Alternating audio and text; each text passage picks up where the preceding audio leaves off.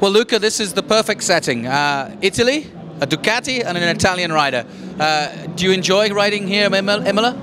Imola is one of my best, uh, my preferred circuits. I love it. I won a few times here in Italian Championship and uh, FIM World Cup, so it's my preferred track in Italy. But also, I think for an Italian here, it's a lot of pressure because the Italian fans are very, very hard on the Italian riders, and then friends, family all want to come. Yeah, everybody wants to come. The passes is a big problem for the weekend, more than the setup, really.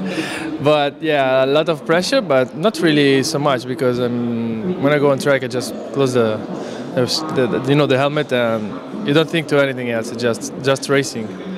Two weeks to go before the end of the season. Obviously, everybody now is talking about next year. Uh, your thoughts, and do you know what you're going to be doing? I already signed my contract. Uh, I won't be in Superbike anymore but I'll be a factory rider in Supersport with Triumph.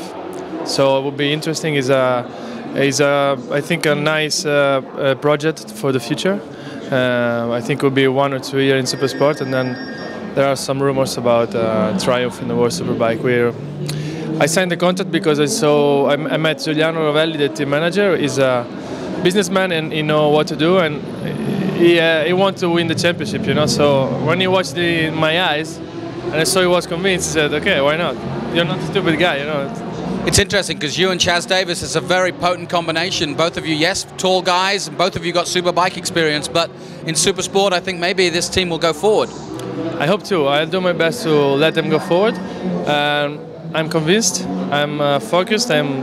I will try to do a different, uh, obviously a different preparation for my body because I'm too heavy now for a super sport.